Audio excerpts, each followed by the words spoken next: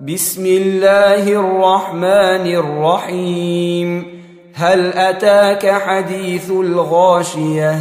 وجوه يومئذ خاشعة عاملة ناصبة تصلى نارا حامية تسقى من عين آنية ليس لهم طعام إلا من ضريع. لا يسمن ولا يغني من جوع.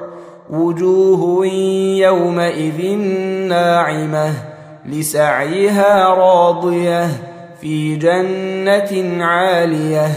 لا تسمع فيها لاغية فيها عين جارية.